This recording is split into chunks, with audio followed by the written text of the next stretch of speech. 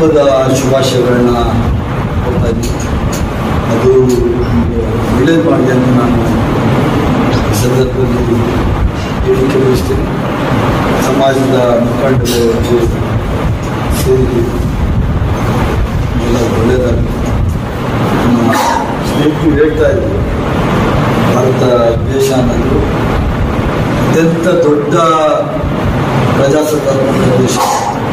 World largest democratic country India ಈ ದೇಶದಲ್ಲಿ ಇರುವಂತಹ ಪ್ರತಿಯೊಬ್ಬ ಪ್ರಜೆ ಹಿಂದೂ ಆಗಲಿ ಮುಸ್ಲಿಂ ಆಗಲಿ ಕ್ರಿಶ್ಚಿಯನ್ ನಾವೆಲ್ಲ. ಸಮ ಸಮಾಜದ ಸೃಷ್ಟಿ. ಡಾಕ್ಟರ್ ಅಂಬೇಡ್ಕರ್ ಅವರು ಕೊಟ್ಟಂತಹ ಸಂವಿಧಾನ ಇದೆಯಲ್ಲ, ಯಾವುದೋ ಒಂದು ಪಾರ್ಟಿ ಸಂಬಂಧ. ಹತ್ತು ವರ್ಷದಿಂದ ಇರೋದೆಲ್ಲ ಟೆಂಪಲ್ ನೂರಾರು ವರ್ಷಗಳಿಂದ ದೇಶದಲ್ಲಿ ಹಿಂದೂಗಳು ಮುಸ್ಲಿಮರು ನಾವೆಲ್ಲ ಬೆಳೆದಿದ್ದೀವಿ ಎಲ್ಲ ಅಣ್ಣ ಥರ ನಾವು ಜೀವನ ಮಾಡಿದ್ದೀವಿ ಇದು ಹೊಸದಲ್ಲ ಇದೆಲ್ಲ ಟೆಂಪರರಿ ಅಂತ ನೀವು ತಿಳ್ಕೊಬೇಕು ಯಾವತ್ತೂ ಸತ್ಯಕ್ಕೆ ಜಯ ಯಾವತ್ತೂ ನ್ಯಾಯಕ್ಕೆ ಜಯ ಅದು ನೋಡಿದೇನೆ ಈಗ ಸಂವಿಧಾನ ಅಂತ ಅದನ್ನೇ ಅಂಬೇಡ್ಕರ್ ಅವರು ನಮ್ಮ ಸಮಾಜದ ಸೃಷ್ಟಿ ದೇಶದಲ್ಲಿದ್ದಂಥ ಪ್ರತಿಯೊಬ್ಬ ಪ್ರಜೆ ನಿಜವಾಗ್ಲೂ ಮುಸ್ಲಿಂ ಆಗಲಿ ಮತ್ತೆ ಮತ್ತೆ ಯಾರಿಗೇನು ಬಟ್ಟೆ ಹಾಕೋಬೇಕು ಯಾರೇನು ತಿನ್ಬೇಕು ಅಂತ ಹೇಳಿ ಯಾವ ಸಂವಿಧಾನ ಇದೆ ನಿಮ್ಗೆ ಇಷ್ಟಪಟ್ಟು ನಾವು ಊಟ ಮಾಡ್ತೀವಿ ನಿಮ್ಗೆ ಇಷ್ಟಪಟ್ಟಂತೆ ನಾವು ಹಾಕೊಳ್ಳೋಂಥ ಸ್ವಾತಂತ್ರ್ಯ ನಿಮ್ಗೆ ಯಾವತ್ತೂ ಇದೆ ಅಂತ ನಾನು ಈ ಸಂದರ್ಭದಲ್ಲಿ ಹೇಳಿದ್ದೀನಿ. ವಿಶೇಷವಾಗಿ ಕರ್ನಾಟಕ ರಾಜ್ಯ ಮುಖ್ಯಮಂತ್ರಿ ಸಿದ್ದರಾಮಯ್ಯನವರು ಮುಖ್ಯಮಂತ್ರಿ ಆಗಿರೋ ತನಕ ಕಾಂಗ್ರೆಸ್ ಪಕ್ಷ ದೇಶದಲ್ಲಿ ರಾಜ್ಯದಲ್ಲಿರೋ ತನಕ ಯಾರ ಹಕ್ಕುಗಳಿಗೂ ಸ್ವಲ್ಪನೂ ರಾಜ್ಯ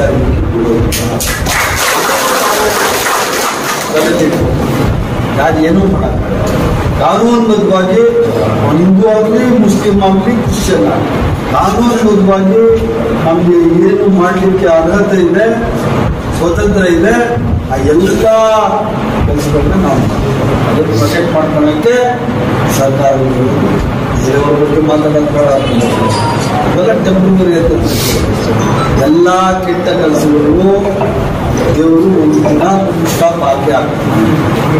ಈಗ ಆಲ್ರೆಡಿ ಸೆವೆಂಟಿ ಪರ್ಸೆಂಟ್ ಸ್ಟಾಪ್ ಹಾಕಿದ್ದಾರೆ. ಟ್ವೆಂಟಿ ಪರ್ಸೆಂಟ್ ಇದೆ ನೆಕ್ಸ್ಟ್ ಎಲೆಕ್ಷನ್ಗೆ ಗೊತ್ತಾಗ್ತದೆ. ಜಾತಿ ಜನಾಂಗಗಳ ಮಧ್ಯದಲ್ಲಿ ತಂದುಬಿಟ್ಟು ಯಾರು ರಾಜಕಾರಣ ಮಾಡ್ತಾರೆ, ಆ ರಾಜಕಾರಣ ಮಾಡುವಂತ ವ್ಯಕ್ತಿಗಳು ಆ ಪಕ್ಷಗಳು ಶಾಶ್ವತ ಅಲ್ಲ.